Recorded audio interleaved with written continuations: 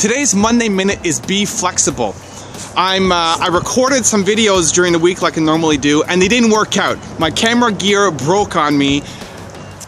The audio stopped working, and I sent them to Christina, and and it didn't work. So I could have stopped and said, you know what? That's the end of it. I'm not going to do it. We'll skip the week.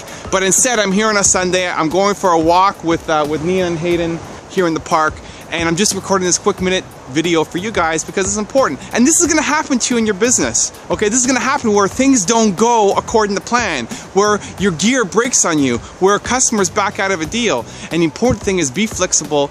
Be flexible. Find another way. Keep going, and believe. Don't forget, believe.